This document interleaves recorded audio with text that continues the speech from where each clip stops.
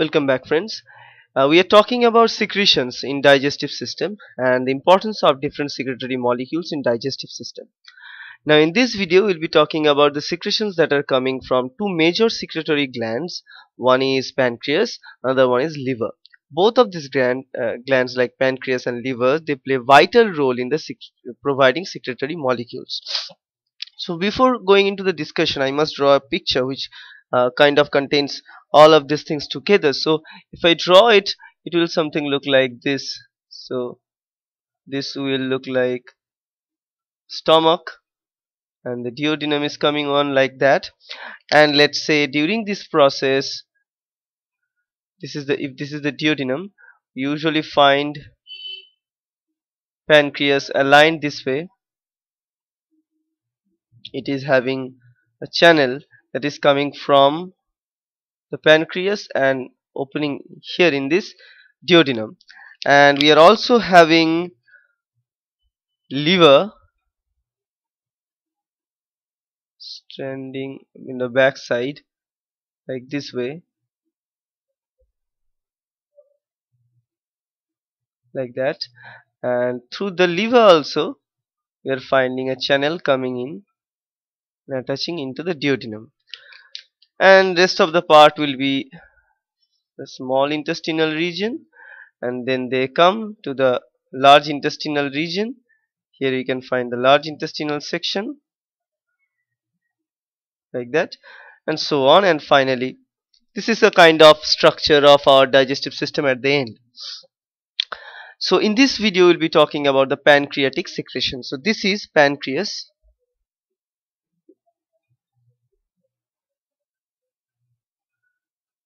so pancreas and we'll be talking about pancreatic secretion. Now in pancreatic secretions actually pancreas provides uh, majorly two important functions. One is protection another one is a digestion.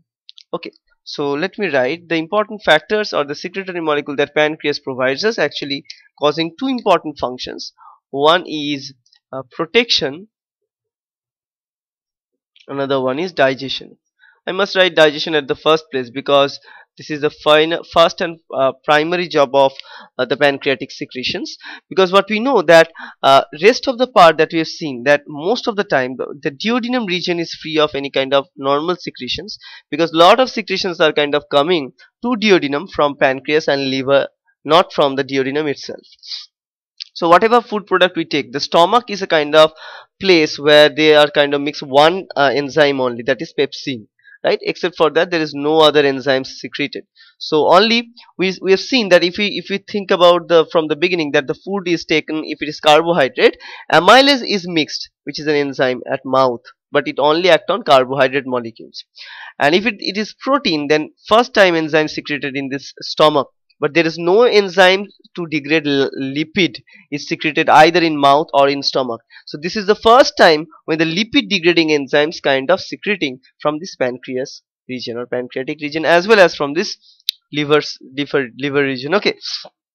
So if we look at here in this case of the digestion part of the pancreas pancreas it contains three major type of enzymes. And those enzymes are responsible for cleaving carbohydrates proteins as well as fats okay. So these are the three major enzymes and if I write down the name of the enzymes one is trypsinogen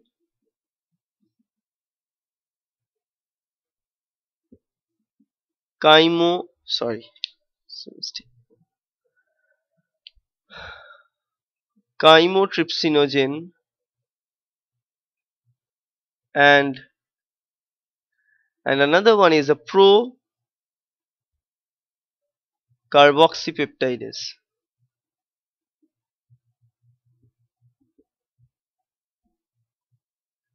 So these are the three major enzymes that they produce. Procarboxypeptidase chymotrypsinogen trypsinogen. And I remind you all of them are required for degrading protein. To degrade protein molecules. Not lipid or not any uh, carbohydrate because all of them are protein degrading enzymes. Chymotrypsinogen chymotrypsinogen and procarboxypeptidase. Okay so in the, all of them they are secreted in the inactivated form. That's why they are called gen at the terminal or pro at the at the prefix region. Okay so these are inactivated form. So to, to make them activated we need to cleave certain sections of these enzymes right as we've seen in case of the uh, pepsinogen that is secreted in stomach right? In gastric secretions. Now in this case how can we make, can we make them active? For making them active we need some enzymes. And the enzymes here we require is called kinase enterokinase. So enterokinase is the enzyme which is also being secreted by these pancreatic border cells. Those enterokinase enzymes are coming in, in close proximity, proximity of these enzymes. They cleave these enzymes in a particular area and they, what they will produce they produce trypsin trypsin from trypsinogen.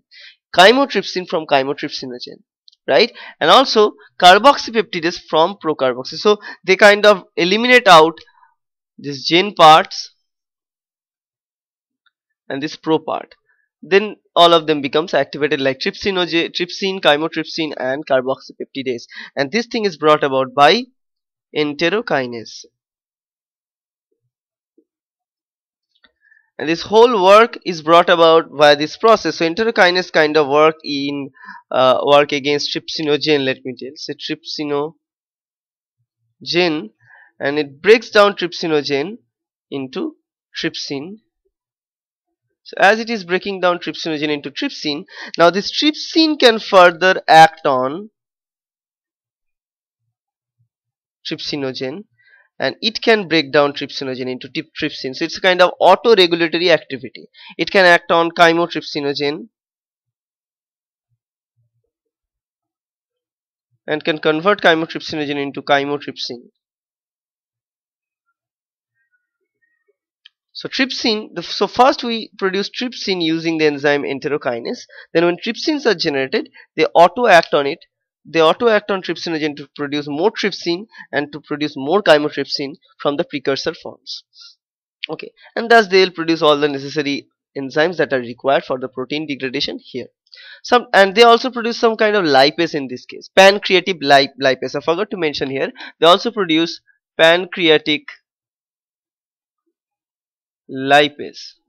This enzyme is useful for degrading fat right? And so for that case so this is the first region where the fat degrading enzymes kind of mixed with our digestive uh, juices. So that is very very important. So if we eat a fat meal we know that it is not going to be degraded anyhow in the mouth it's not going to be degraded anyhow in the stomach. The only region for the first time it is going to be degraded the degradation will begin at this duodenum region right? So that is the reason fat molecules need to be digested or, or fat molecules require more time for their digestion than the carbohydrate and protein molecules. So finally the degradation will go on there due to the help of all of these enzymes from the pancreas. Okay.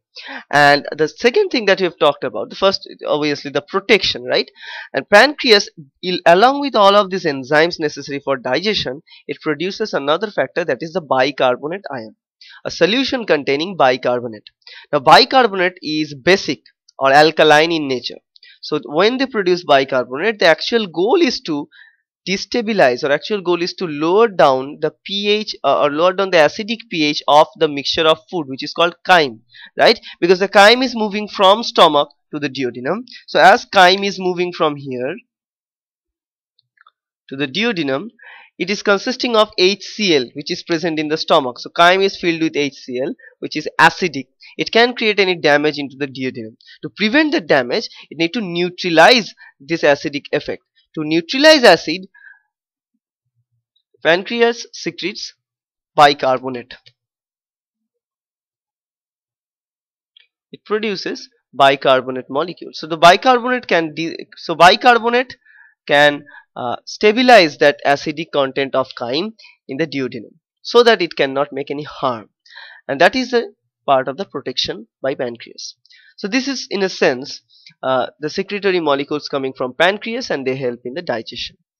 Uh, and usually all of the secretory molecules that we can find they are kind of uh, attached with this kind of duct that is present in the pancreas we can find so they are just kind of attached by the duct and the pancreas is secreting all of them all together and they are releasing from the cells and they are added to this duct and they are kind of released in the duodenum. And pancreas remind you pancreas is a mixed organ. Why we call it a mixed organ or mixed uh, gland because it is having the functionality of two glands which is endocrine as well as exocrine. Now here what we can see the secretion of enzymes secretion of bicarbonate this means this this activity of exocrine activity. It it can also show some kind of endocrine activity. Remember it can produce or it can secrete the major two hormones insulin and glucagon to regulate the blood glucose level. That is also important. The secretory pathway for producing insulin and glucagon is endocrine in nature. So it's a mixed gland. It can produce all of them together. So that's kind of it. And i hope that's helpful. Thank you